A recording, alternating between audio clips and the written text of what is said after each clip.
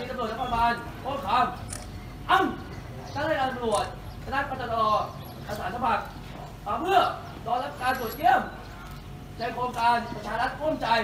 ดูแลความปลอดภัยบ้านประชาชนในช่วงเทศกาลสงกรารประจำปี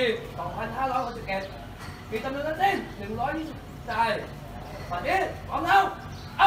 ำเป็นท่านรองผู้จัดการตำรวจแห่งชาติกับท่านพลตำรวจเอกเฉลิมเกียรติ นะครับท่านพลตำรวจตรีอนุรักษ์ลักบุญครับท่านรองผู้ชนนะครับ ท่านพานุเอกปราศัยจิตสุนทินะครับ ท่านรองผู้กำกับการตำรวจนครบาลสองแทนผู้ว่าการนะครับนะครับแขกผู้มีเกียรติทุกท่านนะครับกับผมบ้านตำรวจเอกอภิวัฒน์ใจศรีสุดนะครับผู้กำกับการสถานีตำรวจนครบาลพวกคาม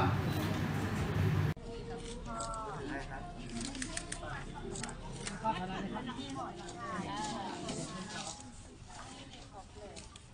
อาไหนทดสอบ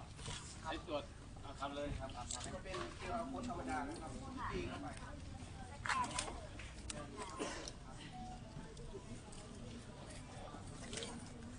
ไม่ไมายถึงไอ้นี่ของตำรวจเราครับตำรวจ แต่ถ้าของของคุณไปเตยอยากทำนี่ต้องมีโปรแกรมแอปพลิเคชัน Police Alert อยู่ นี่นี่นี่ครับนี่ครับอ่านี่เมื่อกี้เมื่อกี้คุณพ่อได้โหลดแล้วค่ะอ่านี่ก็เลยใช้เลยนะคะขออนุญาตกล้องนี้หน่อยนะคะไม่ต้องค้างไว้เลยครับถือค้างไว้ครับถือค้างไว้ครับป้ายไหนป้ายนี่หนึ่งครับขออนุญาตค่ะ ขออนุญาตค่ะ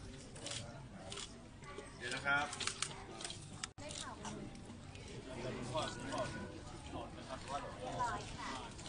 คือตรงนี้เนี่ยมันจะ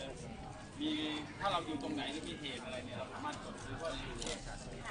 ก็เจ้าที่มีใกล้คนมาในขณะเดียวกันไม่ใช่เฉพาะเรื่องเกี่ยวกับอาชญากรรมถ้าเกิดเราไปต่างจังหวัดเนี่ย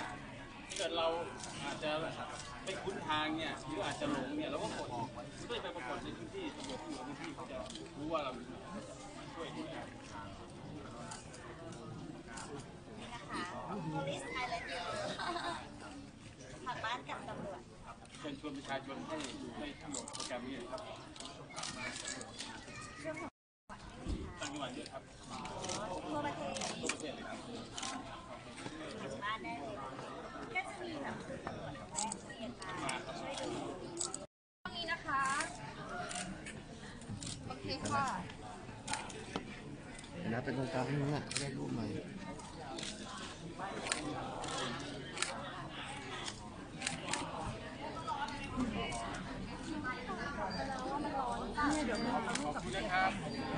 นะครับมา ใช้ในการตรวจผมจะมีในสายตรวจด้วย ในนครบาลนี่สามารถเราใช้ทุกครอบคลุมทั้ง 88โรงพักนะครับตรงนี้ก็ก็จะเป็นสิ่งที่ดีเพราะว่าเจ้าหน้าที่ตำรวจเวลามาตรวจจะใช้ระบบนี้ตรวจก็จะทราบว่าผู้ที่มาตรวจนี่อยู่ตรงไหน และบ้านที่ตรวจเอ่อชื่ออะไรอยู่รังสรรค์ผลงานโดยกระชอน .com